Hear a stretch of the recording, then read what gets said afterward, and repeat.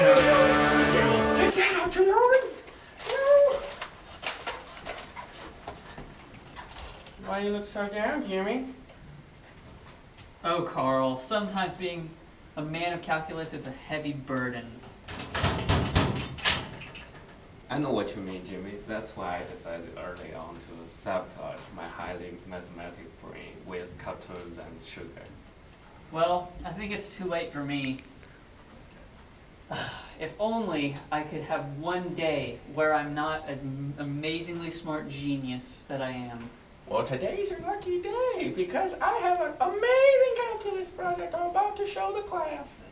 I drew the unit circle. Uh, Carl, that's a triangle. It's not.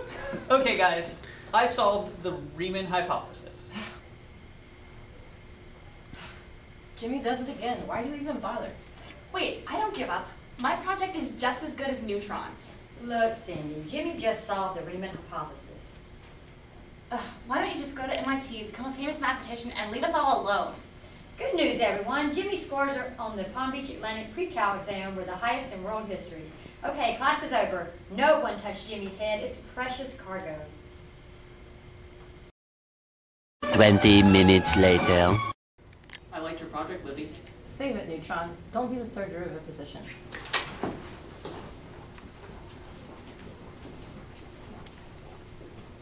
What's the point of being smart if it only makes me miserable?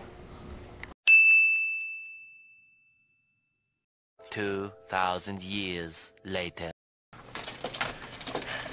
Diode, Lord. Gentlemen, I present you with the calculus drain 10,000. But, but Jimmy, maybe you don't want to drain your brain. But I do, Carl, I do. For one day, I just want to be an average, good for nothing, normal citizen. Like you guys. But, but what if you don't like it? Well, that's okay. All I have to do is plug the antiderivative of the function I'm using right now into the programming and put the helmet back on. Yeah, Carl. All he has to do is reverse the fumble uh, to the anti into the. Yeah, just turn it on. Turn it on. Not yet. My current IQ is 210. To become an average citizen, my IQ needs to go all the way down to 100. I used a related rates problem to calculate my how fast my invention drains knowledge, which happens to be a rate of 10 IQ points per second. So I need to wear this helmet for exactly 11 seconds. You got that? I need you to turn it off after those 11 seconds, otherwise I'm going to be retarded. What? Oh yeah, yeah, of course. Okay, here goes. Uh,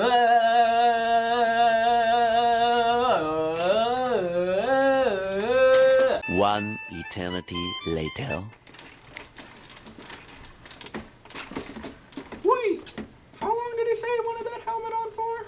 Uh. Sheen!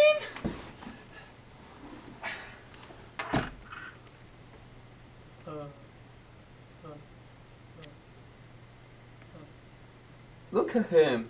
He looks totally the same. Yeah, he looks normally stupid. Shiny. Shiny. I like the shiny. Uh,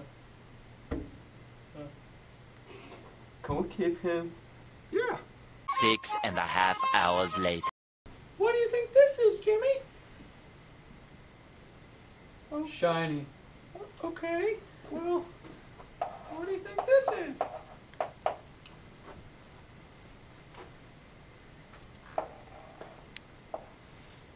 Oh man. Tomorrow. All right, class. Who can tell me what is sine of 2 theta? Ooh, I got it. Four. Jimmy, pre-identity is some of the most important things you learn in pre-cal. It is imperative that you have these down before you even get to this class. What's the matter, Nerdtron? I thought this was easy for you.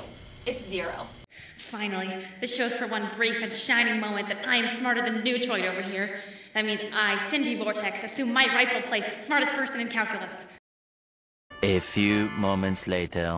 Something's not right with Neutron. Says who? I beat him on a quiz for the first time ever today. If something's wrong with him, then there's something right with us, finally. Yeah, I guess you're right. I mean, I'm finally the smartest person in class again. What could possibly be bad about this? Cindy, I can't believe I'm gonna have to ask you this, but I'm gonna need you to tutor Jim.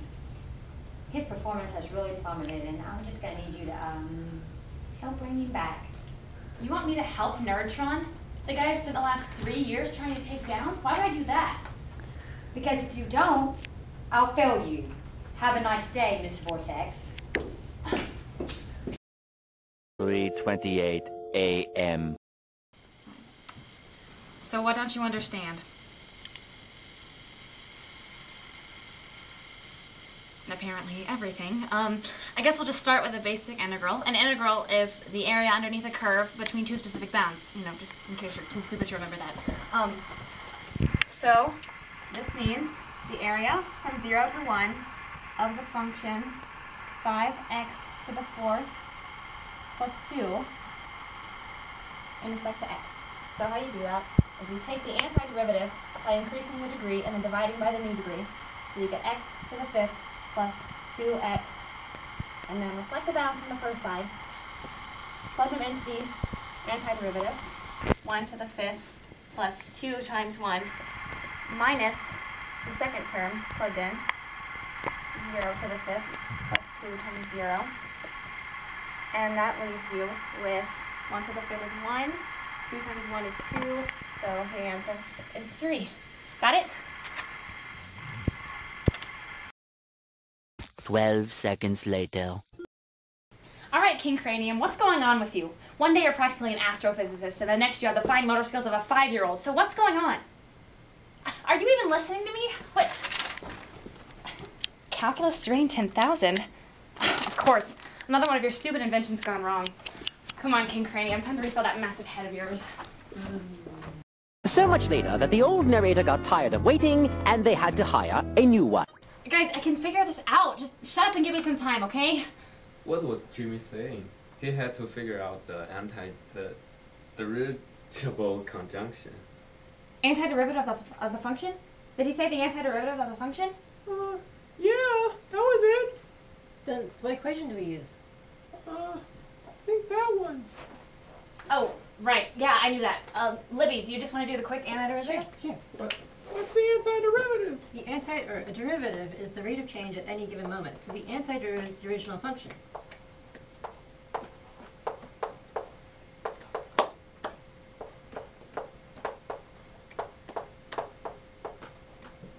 Oh, that's easy. You want to plug it in? Sure. And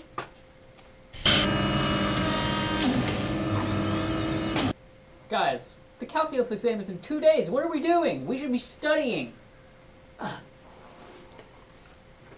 Great. Frankenhead walks the earth again.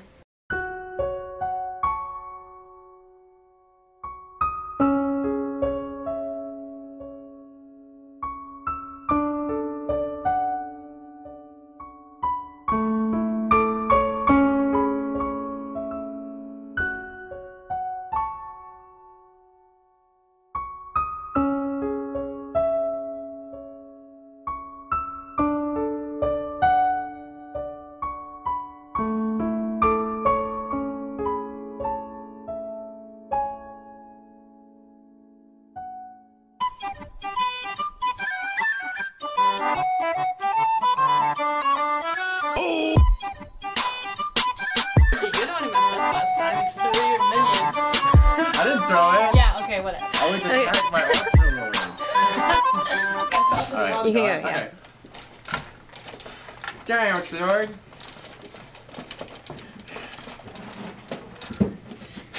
Gentlemen, I present you with the calculus drain. Oh my god, and oh my god.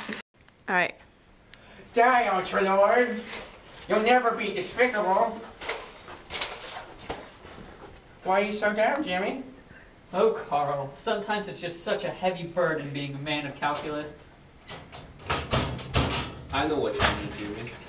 Uh, that's why I decided early on uh, sabotage my highly mathematical mind with, co- uh, with So it's not the one.